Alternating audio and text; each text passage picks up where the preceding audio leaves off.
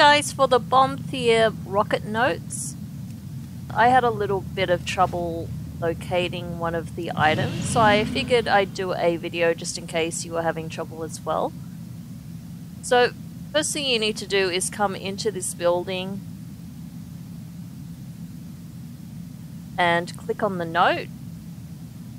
You will then get a 10 minute buff. And then you'll need to collect four items. One of them is right here by these three little rocks. Trinkets, yes. Pretty trinkets. The heck was that? Okay, and then next, you just have to go into this other building.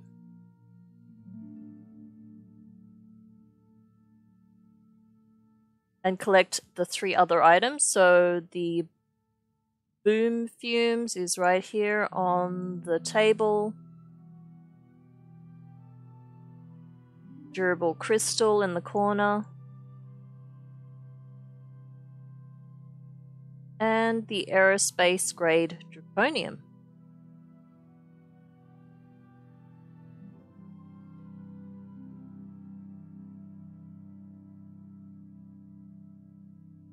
Once you have all four, just head back into the building. So now you should be able to loot it. And there's three delicious points right there.